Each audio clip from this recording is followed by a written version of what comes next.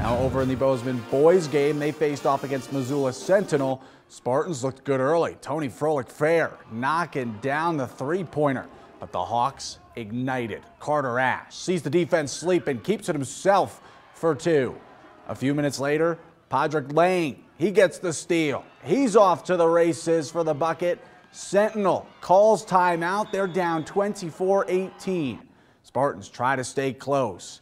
A great backdoor cut by TJ Rouse. She sinks the reverse layup. But in the second half, Bozeman holds strong. What a pass by Ash to Hudson Willett. He knocks down the triple. Bozeman stays alive, defeating Sentinel 62-55.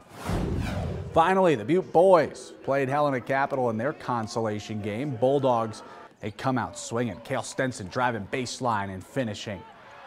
And then the first half belonged to Butte's Jake Olson. How about this? A huge block right here. And then the big man runs the floor. He's not done. Grabbing the rebound off the Tommy Malott miss, puts it back up. He had 14, Butte's up five. However, Capital battled back. Parker Johnston attacking the paint here for two. The Bruins, they advance 61 41.